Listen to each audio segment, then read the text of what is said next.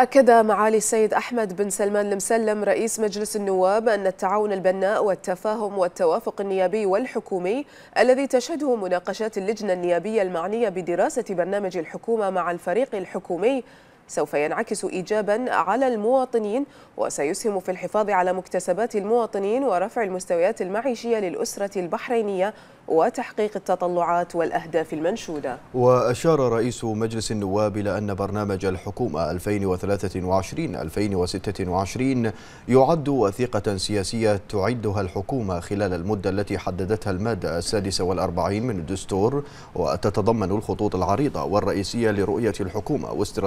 واستراتيجياتها وأولوياتها وسياساتها العامة التي تنوي القيام بها دون أن تتضمن التفاصيل والجزيئات التي يكون مكانها عند مناقشة الميزانية العامة للدولة. وقد جاء البرنامج تنفيذا لمضامين الخطاب الملكي السامي الذي تفضل به حضرة صاحب الجلالة ملك البلاد المعظم حفظه الله ورعاه خلال تفضله بافتتاح دور الانعقاد الأول من الفصل التشريعي السادس.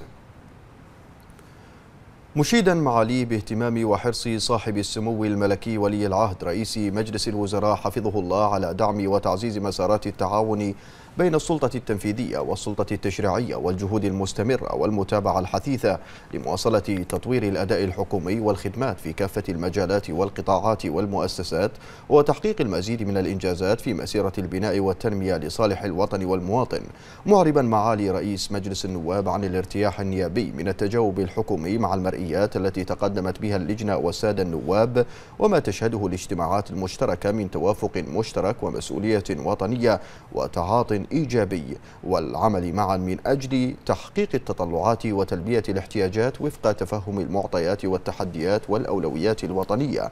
وأضاف معاليه أن اجتماعات اللجنة مع ممثلي الحكومة ستتواصل في الأسبوع القادم بعد دراسة الفريق الحكومي للمرئيات والأسئلة التي تقدمت بها اللجنة لمناقشة واستعراض الردود الحكومية عليها.